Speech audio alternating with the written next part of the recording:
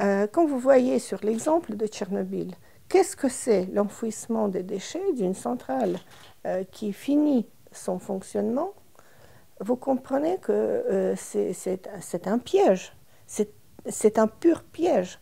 Altermonde. Altermonde. Altermonde. Altermonde. Après chaque catastrophe, les humains reconstruisent. Là, on est confronté à une situation assez inédite, je dirais, où vous aviez une région relativement prospère, euh, relativement autosuffisante, donc en quelque sorte ça, représente un bout de notre terre. Euh, donc vous aviez la présence, euh, disons, Pripyat comme capitale, source approvisionnement énergie centrale, Provence, Tchernobyl, armée, le radar et le site du radar, et ensuite vous aviez country, le pays, euh, l'agriculture, euh, quelques dizaines de, villages avec une population assez importante. Euh, vous aviez la navigation, l'agriculture, des métiers, donc des choses modernes, très modernes, à la pointe du progrès, et des choses plus archaïques. C'est-à-dire, c'est représentatif, disons, de n'importe quel région normalement développée de l'Europe, des États-Unis, euh, de plusieurs pays du monde. Et puis donc arrive cette affaire, Tchernobyl. Et qu'est-ce que vous avez à la place aujourd'hui dans cette zone? La zone est interdite à l'habitation. Il n'y a plus d'agriculture, euh, il n'y a plus de population. Le cœur de la zone, il est contaminé, on peut dire, à tout jamais.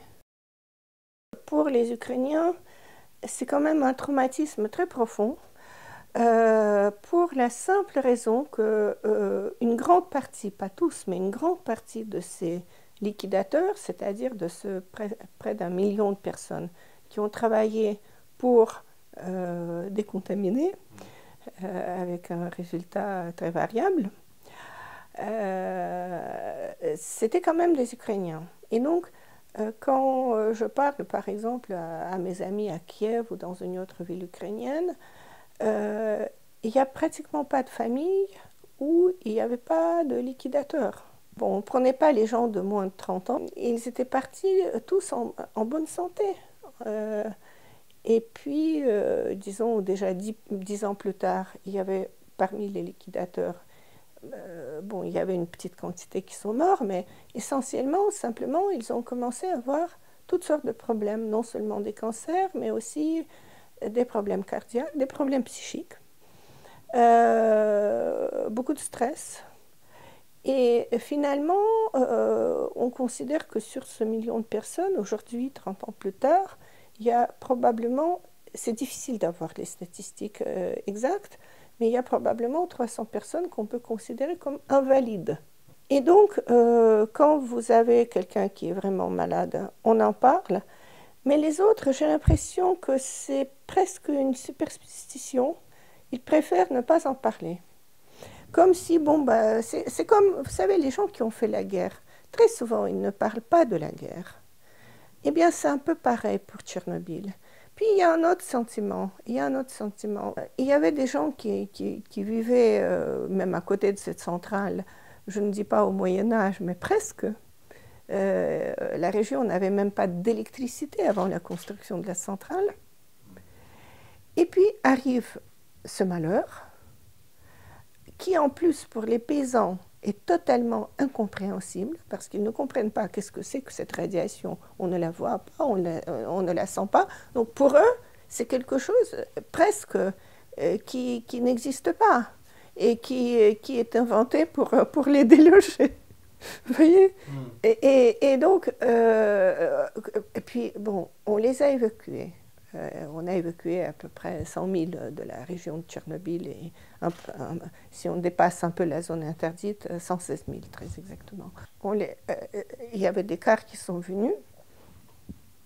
Ils ne pouvaient pas, dans la plupart des cas, prendre leurs biens parce que c'était considéré que tout était contaminé n'ont pas pu, prendre leurs animaux de compagnie, leur bétail, et on, les a relogés de façon très sommaire en séparant les familles, alors que c'est la population qui très souvent n'a jamais quitté leur village. qui, qui, ont vécu comme ça traditionnellement, qui connaissent, euh, qui connaissent euh, chaque, euh, je ne sais pas, chaque branche sur chaque arbre, mais qui ne connaissent rien dehors de leur village. Et subitement, on les reloge, et même si c'est à 50 km, c'est un autre monde. Leur monde est perdu. Je crois que d'une part, l'humain est ainsi fait qu'il ne peut pas euh, sentir longtemps euh, le danger. On, s'use. Même à la guerre, les gens s'habituent. Donc, euh, on ne peut pas garder toujours cette vigilance, faire toujours les efforts. Et en plus, ce n'est pas quelque chose dont vous sentez la dangerosité. Vous voyez, pour nous, c'est évident. Bon, bien sûr, euh, c'est aussi simple. Euh, non plus, les, virus sont invisibles, les, je ne sais pas quoi, euh, les, microbes sont invisibles. Pourtant, on, se préserve, on lave les mains, on, fait le vaccin contre la grippe, etc. Mais il faut avoir un certain niveau de conscience pour ça. Cette population, elle n'a pas simplement le, niveau de culture. en fait, il aurait fallu un encadrement de l'État pour veiller à ce que la population respecte les consignes de sécurité. Je ne suis pas sûre que même si ça se produit en, France, il y aura vraiment une très grande vigilance s'il n'y a pas la société civile qui, s'en occupe. Parce que pour l'État, le, le, plus important, c'est qu'il n'y ait pas de vague. Plus les gens vivent, soi-disant, dans la normalité, et mieux c'est. Vous savez, au début, après la catastrophe, euh,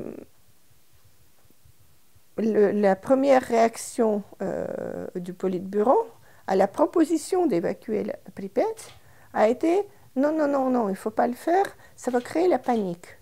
Parce que la panique est considérée comme quelque chose de plus dangereux que la radiation. Ça crée des, des, des, des mouvements incontrôlés. Vous voyez? Et l'État, il aime qu'il y ait le contrôle, que, que tout soit calme. Euh, on n'a pas encore réglé le problème du stockage euh, du combustible de la centrale. Maintenant, on va construire l'arche.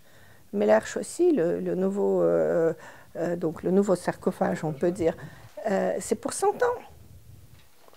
Ensuite, il faudra encore régler le problème d'enfouissement des déchets. C'est-à-dire, quand vous pensez euh, quand vous voyez sur l'exemple de Tchernobyl, qu'est-ce que c'est l'enfouissement des déchets d'une centrale euh, qui finit son fonctionnement, vous comprenez que euh, c'est un piège, c'est un pur piège. Ça coûte très cher. Et les, solutions durables, il faut, creuser jusqu'à un kilomètre de profondeur.